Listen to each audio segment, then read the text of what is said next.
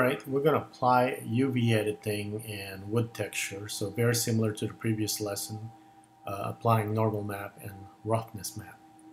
Okay, so we will um, first go to our UV editing here, and so we can show you, I can show you how the uh, box is unwrapped. Okay, so first thing is, uh, let me turn on my screencast so you can see all the tools that I'm using and keyboard shortcut. Alright, so let's uh, deform this one real quick. I'm going to go to object mode and just kind of make it like a plank of wood or some sort of non-cube, okay? After I selected the object here, or transform it, sorry, I'm going to go apply and scale or all transform just so that it kind of resets. So what we can do with this one is if I press tab to go to edit mode, select everything, press A just so that, make sure that everything is selected. I'm going to press U and then unwrap it. Okay, so you can see here it's still kind of looking like a cube. Okay, and what we want is UV, uh, Smart UV, and give it an island margin. So very similar to the uh, Cereal Box project. And once I click that, you can see now the dimension for the object is laid out as if I mean, I could print this and then cut it off and uh, do like a paper craft and it would be this, right? So I'm going to go to uh, face mode here. So that one represents that. That one represents that, the side, top, so on and so forth. Okay, so our UV is done. Now we can go to shading. Okay, I'm going to go to LookDev, which is the third one right here, so we can show you the all the stuff we need to do there okay? And then let's apply the uh, the wood texture that I downloaded so. Here we go. So I'm gonna go here and get this is the color map. So same thing as before very similar to the brick. Let's apply it. Color to base color.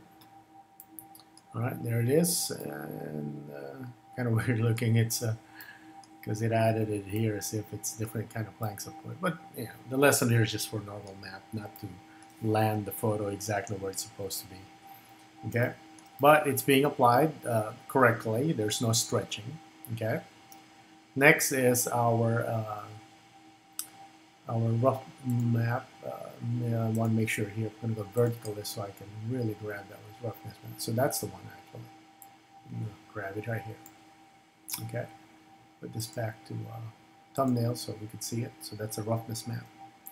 Uh, we got to change this to non-color.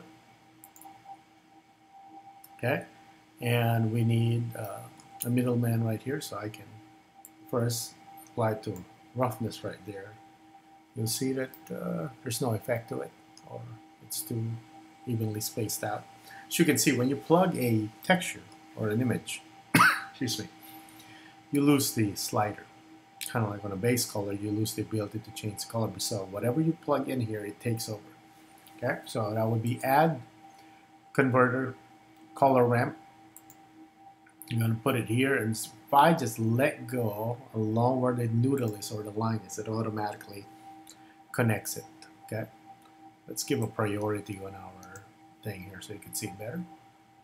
Okay, there it is, and we're not seeing the variation of the uh, color ramp, I mean the roughness, because it's pretty much kind of just scattered in here. It's not as significant as the, uh, as the brick, but I'm going to move this one a little bit here, then we're going to play with our, okay, and play with the black right here. That way we can see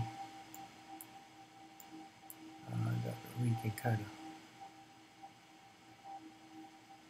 get certain parts are going to be shiny versus not so shiny. Alright, there you go. I'm going to go like so. so. As you can see here, only certain parts. Actually, the, the uh, darker tone right here is giving it shininess, and as you can see here, there's no shininess. So you got to play with this, you know, scrub it until you're happy with that kind of variation. It'll be more obvious once we add the uh, the normal map. Okay, so the normal map is the one that gives it that imperfection and basically uh, surface texture. Normal map goes here. And obviously we can't connect yellow to purple. Uh, we need another middleman right here. uh, we've got to change this one also to non-color because only the color main one can get an sRGB right there.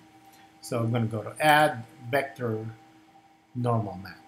Okay, add vector normal map. We plug color to color, normal to normal. All right, there we go. So you see that texture kind of pattern right there, and then the strength. You can of course make it uh, too crazy. Oh, 0.9 actually. Okay, so there it is. Applied uh, a, uh, so it doesn't look like it's just kind of,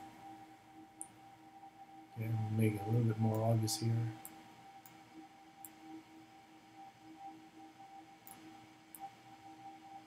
Right there, maybe crank this up a bit. Alright, so it looks like we modeled some texture. Uh, I mean, uh, separate planks of wood. All right. Next, we're going to add uh, our uh, um, tiling, okay? But I'll end the video here. I'm going to make a separate video for that.